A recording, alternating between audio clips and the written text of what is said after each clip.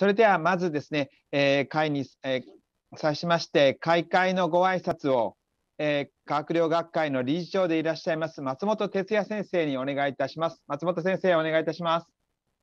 はい、えー、日本科学療学会の理事長を担当しております、えー、松本でございます、えー、まず最初に簡単にご挨拶だけさせていただきます。えー、日本科学療学会はこれまであの抗菌薬の適正使用ということに関連して、まあ、化学療法をですね、まあ、推し進めるという形で、これまであの抗菌化学療法の認定の医師、それから歯科医師、薬剤師などをあの制度をずっと立ち上げて、これまで講習会などを継続してやってきました。ただこれを個人個人のどちらかというとスキルをアップするという意味では非常に役に立っていると思いますし、多くの方にもう認定を取っていただいて、セミナーにも多くの方が参加していただいております。これはとてもありがたいことだと思いますけれども、今、やはり AST 活動というのは、個人個人でやるというよりは、やはりチームでやるということが大事になると思います。ただ、これは残念ながらですね、その AST 活動っていうのは、どうやれば標準的なあの活動としてやれるのかとか、何をやれば具体的にいいのかということに関しての、あまり明確なですね指標があるわけではございません。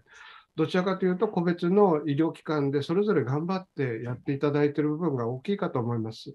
そういうことを踏まえてですね、AST 活動ということを支援するということを目的としまして、この AST 講習会というものを、えこの日本科学療学会でもやるということで、え今回2回目ということになりました。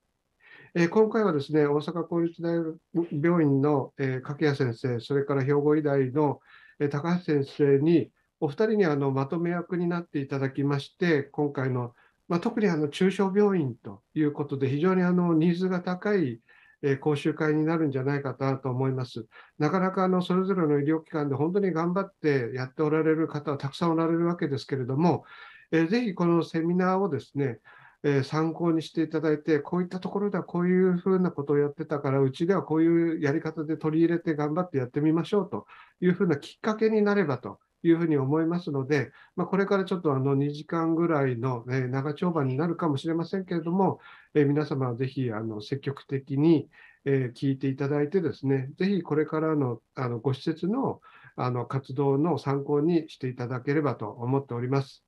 えー、まあ、あのちょっと遅い時間になるかもしれませんけれども、えー、皆様の最後までの聴講を、えー、よろしくお願いいたします。え私の挨拶はこれで終わらせていただきます。えー、柿谷先生、高橋先生、司会どうぞよろしくお願いいたします。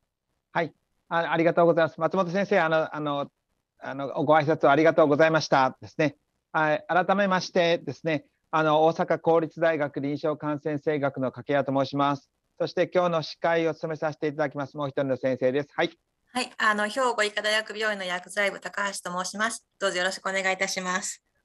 あの本日はですね2人であの司会を務めさせていただきますけどもあのこの企画の段階からですね2人で少しあのディスカッションをして今日の演者やそして、えー、話していただくような内容等々をですね、えー、少しあの2人で考えさせていただきました。本日のテーマがですね中小病院の AST 活動ということで先ほど松本理事長もおっしゃっていただきましたが、まあ、どうやって人数の少ない中でチームとしてやっていくかという課題を皆さん感じてらっしゃるかと思うんですけどもあの本日の講習会でですね何かヒントをいただいてですね明日からの活動につなげていただければというふうに思います。それでは今日3人のですねまず演者の先生からお話をいただきます。